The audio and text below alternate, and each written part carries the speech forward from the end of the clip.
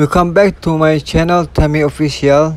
According to the request of one of my viewers yesterday who wanted to know whether the Bakung Sari Hotel in Kuta is still open or not. So I will now see directly whether the hotel is open or closed. Let's watch the video until the end.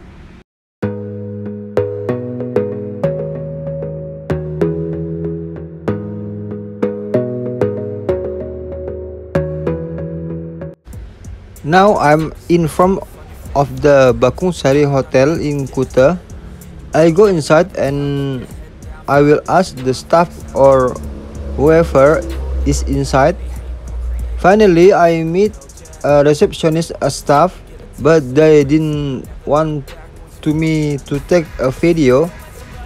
After I asked the hotel was open normally as usual and this hotel already has several residents. And I asked permission to take videos around this hotel and they allowed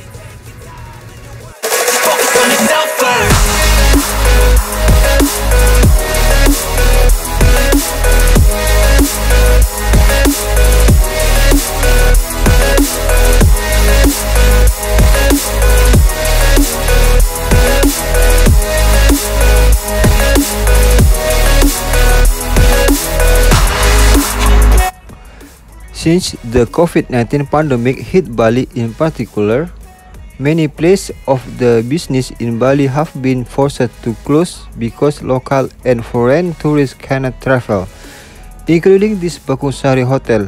But at this time, the Bakung Sari Hotel has started opening as usual because currently some rooms have been filled according to the receptionist.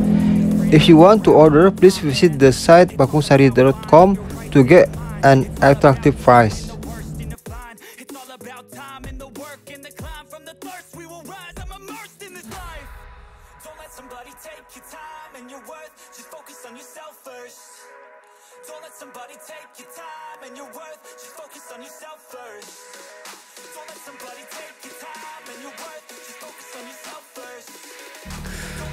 Bakung Sari Resort and Spa is the right choice when visiting Kuta a perfect blend of thrift and convenience. This property offers a welcoming atmosphere with amenities designed for travelers like you. If you want to see famous place while visiting Kuta, Bakung Sari Resort and Spa is within walking distance of Kuta Square 0.4 km and Gili Fast Boat 0.9 km. Guest room provide air conditioning, a mini bar, and a refrigerator and Bakung Sari Resort and Spa makes getting online easy as free Wi-Fi is available. You can also use the facilities provided by the hotel such, uh, such as a 24-hour front desk, newspaper, coffee shop. Guests can also enjoy the swimming pool and breakfast during the, their stay. For added convenience, free parking is available for guests.